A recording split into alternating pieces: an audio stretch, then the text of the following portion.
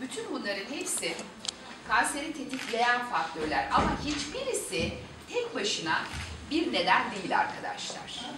Stres en önemli nedenlerden birisidir mesela. Stresli yaşam.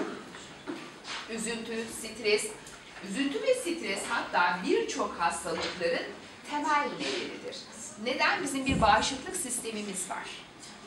Üzüntü ve streste, stresli olduğumuz ve uzun e, yıllar bu şekilde yaşamış isek eğer, o bağışıklık sistemimiz çöküyor. O çöktüğü zaman işte vücuttaki o zararsız olan şeyler, vücut sistemimiz, bağışıklık sistemimiz, savunma mekanizmamız zayıfladığı için o vücuda zararlı olan her şey hop fırsatçılar ortaya çıkıyorlar. Ve bulundukları dokuyu, hücreyi, organı ne yapıyorlar? Kemiriyorlar. O yüzden stres bizim hayatımızda çok çok önemli. Ne dedik? Kötü beslenme, iki kötü alışkanlıklar, alkol, sigara gibi. E, ama hiçbirisi tek başına bir neden değil.